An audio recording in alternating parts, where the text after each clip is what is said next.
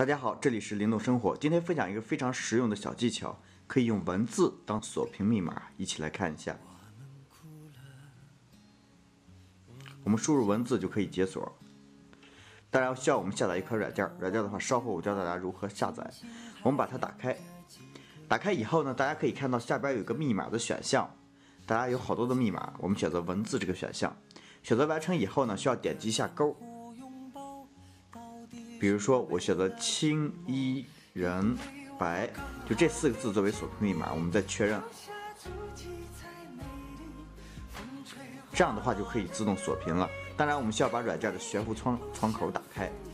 当我们进入的时候，大家可以看一下，直接输入锁屏密码进入。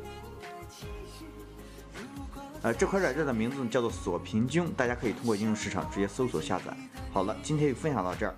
更多精彩，请关注灵动生活。拜拜。